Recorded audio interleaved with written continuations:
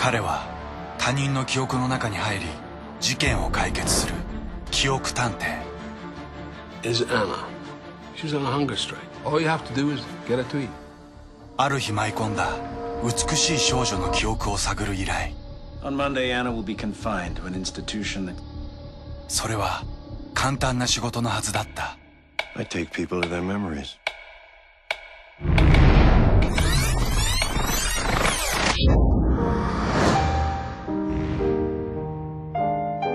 彼女の記憶の中で彼を待っていたのは Your memories have to be real. So you didn't poison those girls? 隠された数々の疑惑 I didn't do it, John.